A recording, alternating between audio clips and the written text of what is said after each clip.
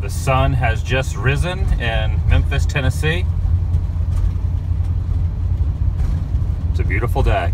Welcome everyone, Adam the Woo here. It's my second channel, daily vlog channel. It's the Daily Woo. On the corner of Mason Street and Tapton Place is the Church of God in Christ World Headquarters. And on April 3rd, 1968, a very important and now very famous speech was held inside those doors. Bishop C.H. Mason founded the Church of God in Christ, and if you read closer to the bottom, he is entombed inside the Mason Temple, which is also this structure, the Church of God in Christ. I'm very fascinated by stained glass windows in churches.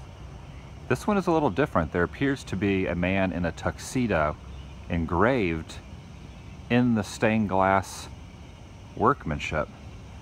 And it was behind these very walls that Dr. Martin Luther King gave his final speech, referred to now as the I've been to the mountaintop speech. One of the things that really hits home for me when I listen to those words and I watch that footage back of that night and I am paraphrasing, is how he was saying how he would like to live a long, prosperous life and how longevity has its place.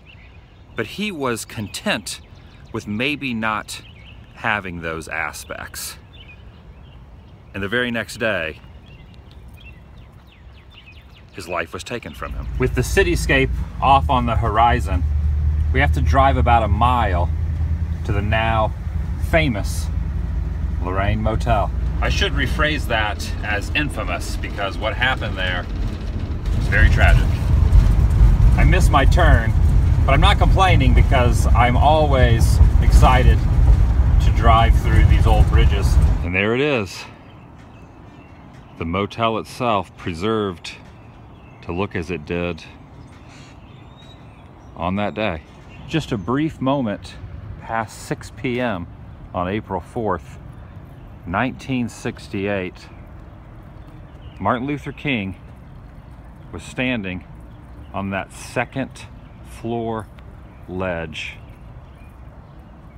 when he was killed. There is some video footage that can be found online. I believe it's from the day before where he was entering the motel and he walked up these very stairs and there's some photographs of him walking along that pathway to his room. In fact, one of the angles was from this very spot.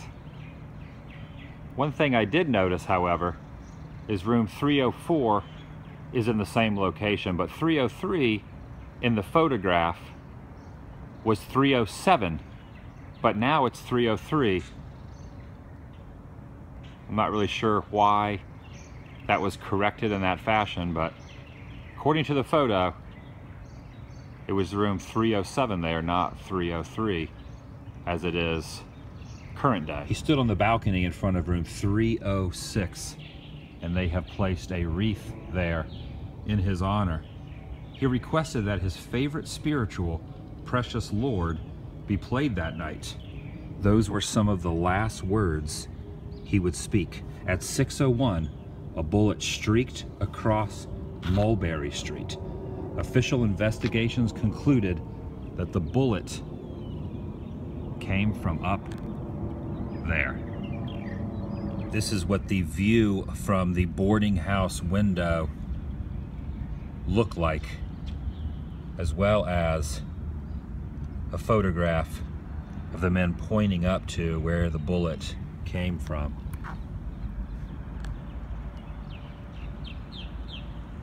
Right across the street. His body laid right up there on that corner angle and it was taken down these very steps here. He was taken to the hospital and just over an hour after he was shot, he was pronounced dead.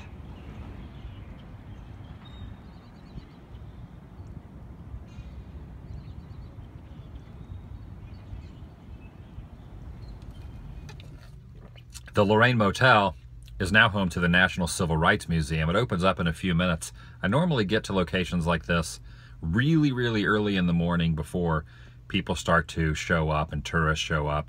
I kind of like to have a moment to myself, especially in somber places like this. Another interesting fact about this motel, the wife of the owner, the night that Dr. Martin Luther King was shot, she suffered a stroke because of that event on the property and ended up passing away a couple days later. I find that very interesting. Two dramatic events involving two separate people on the same spot on the same night.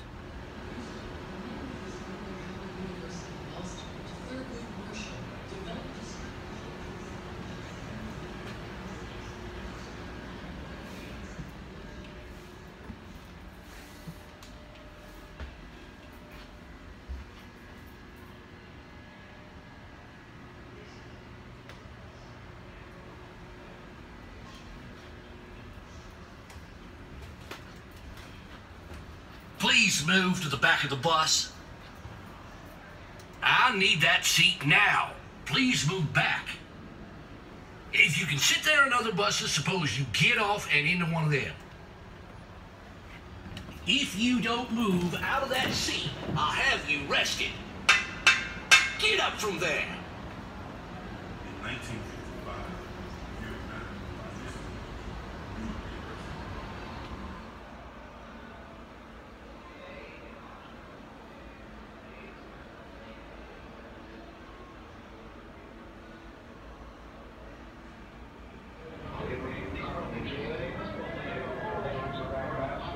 while suffering gross injustice and shameful humiliation, gives the inexpressible cruelties of slavery. we will be able to transform the dangling discourse of our nation into a beautiful symphony of brotherhood.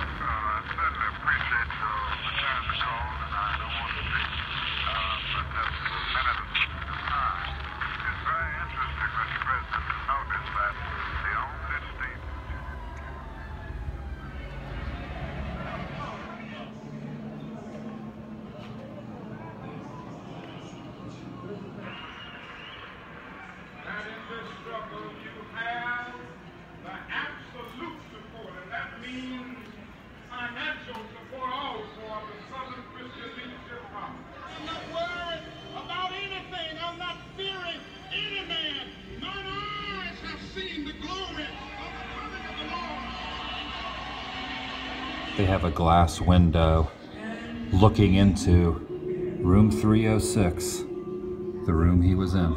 Cigarettes in the ashtray, food on the end table, and that is where he laid, right there, on that spot. This is a replica of the 66 Ford Mustang that was seen leaving the scene of the crime that day. Behind this sheet of glass is the window believed where the shot came from. This is a picture of around the time frame when it happened.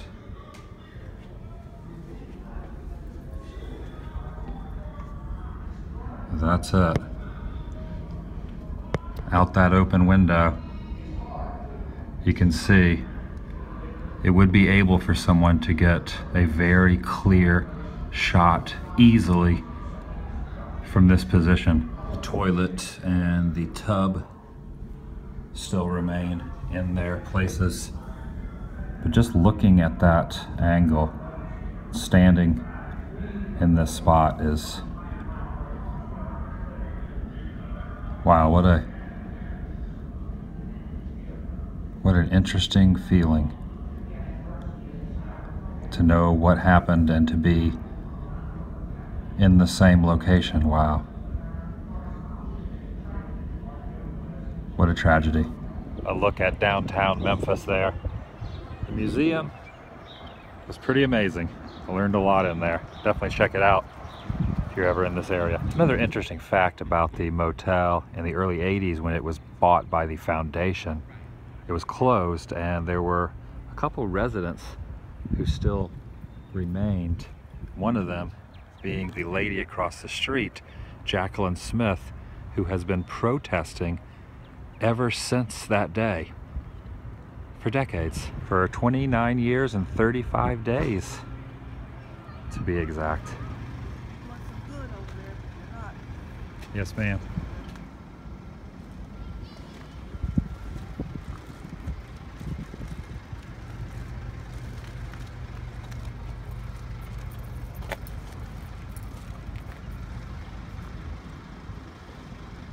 Take a look at that.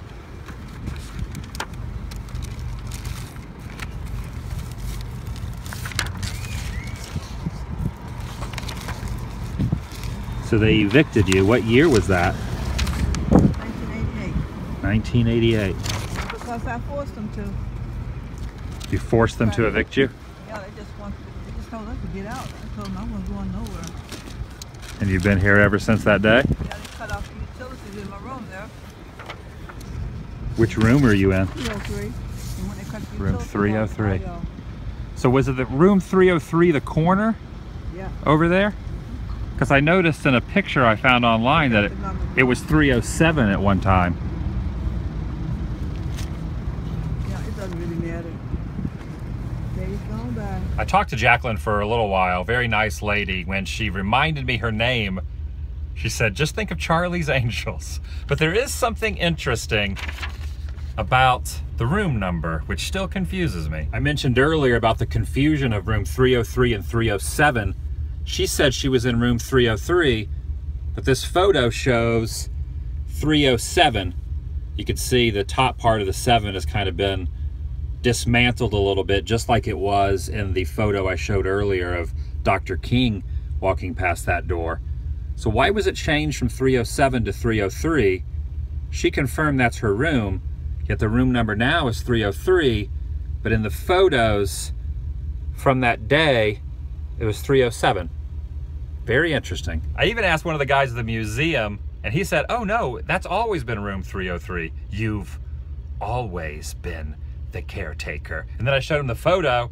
He was super confused by it and bewildered and said he was going to ask around. He never got back with me. Who the heck knows? Out of all the little details of that case, the investigation, all that, why is that sticking in my mind so much? 303 versus 307. Why was it changed? And why doesn't anyone know? Things that make you go, hmm. Heading out of Memphis now, cruising down the road a ways. Not even sure which destination will be in tomorrow's future. I haven't decided yet. I don't know how far I'm going to drive, which technical direction I will be going. But rest assured, all will be unveiled not only to you, but to myself by tomorrow. I'll see you then. Vlog over.